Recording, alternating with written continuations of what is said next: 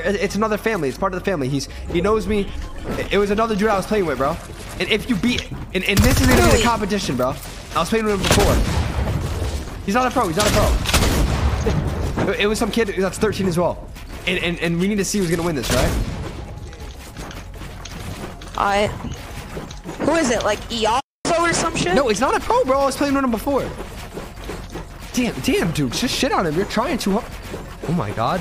No way. What are you doing, dude? Are you gonna calm down, bro? Do it, do it, do it, bro. Do it. Do it, do it, do it. Oh my Oh my fucking god. Oh my Oh my god! Fuck! It, Dukez, it's not that serious. no! No!